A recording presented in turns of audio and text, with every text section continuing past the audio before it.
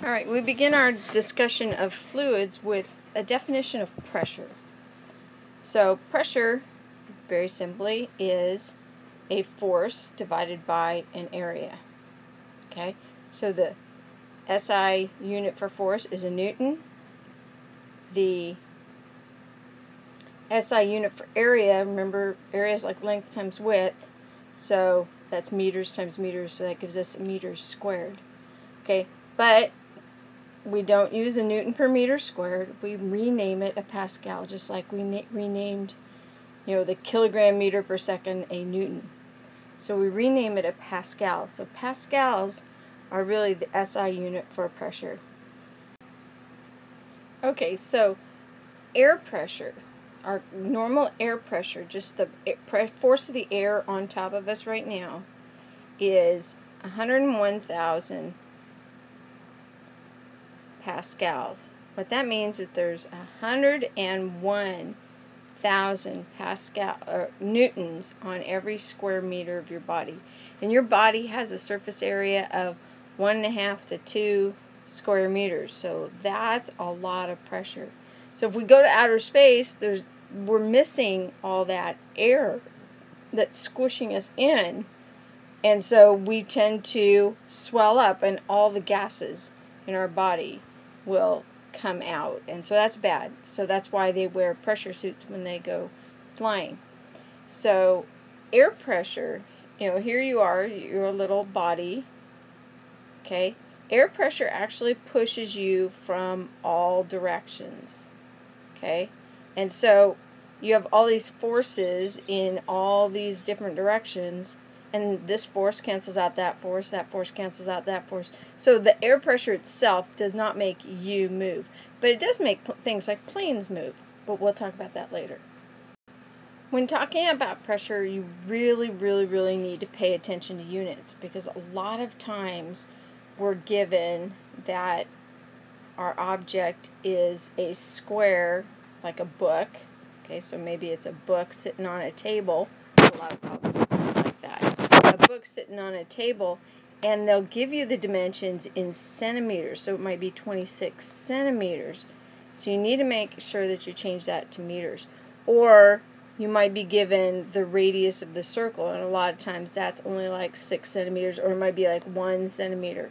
So pay attention to these units and make sure you convert this to meters before you do any other work. Make sure you change them before because the conversion from centimeters squared to meters squared is not as simple as, oh, there's 100 centimeters in one meter. Let's just move the decimal place two places.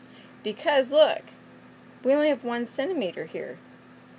We have two centimeters here. So we actually have to do this.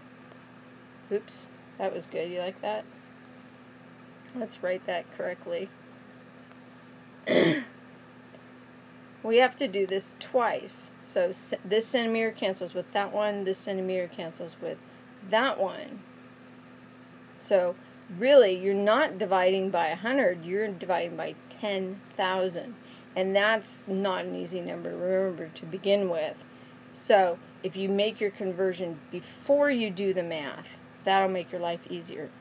Some area equations you want to know you want to know the area of a rectangle. So the area of a rectangle, that's easy. You've done that a jillion times. Length times width. Okay.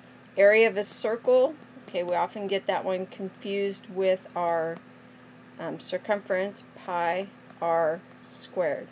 These are the two biggies that you're going to use. So make sure these get on your equation sheet. I know they're easy, but you know, in the pressure of a test, you're going to say the area of a circle is 2 pi r, and that's just not what it is. So what about that book problem? Okay, so we have a book laying on a table. Here's our book. It's laying on our table. And they want to know what pressure the book exerts on the table. So let's say our book is 20 centimeters by 25 centimeters. Nice easy numbers. Okay. Remember, pressure is force over area. So there must be some uh, something else we need to know about this book. We need to know this book has a mass of, a, let's say, one and a half kilograms. Okay, so we need the force. Do we have a force in here anywhere? No, we don't. But we do know the mass of the book. Can we find a force from the mass of the book? Yes, we can, because what force does the book exert on the table? The force of gravity, or its weight. So the weight of the book is equal to its mass times 9.8. So its weight is 1.5 kilograms times 9.8 and that comes out to 14.7 newtons. So now we know the force that's being exerted. That's going to be 14.7. Now we need to find the area. What shape does a book make? Oh, look, it's a rectangle. So how do we find the area of a rectangle? Length times width. So change your centimeters to meters. So this is 0.2 meters 0.25 meters. So a lot of our areas are going to be really, really small numbers. They're going to be like point something, point oh something, point oh oh oh. I mean, sometimes it'll be like 10 to the minus 4, 10 to the minus 5. Some of our areas are going to be very, very, very small because we're talking about square meters. Okay, and if you talk about something the size of a penny, okay, compare that to a meter. It's not very big. So let's think about, does this answer make sense? Yeah, it makes sense. Is this going to be a small number?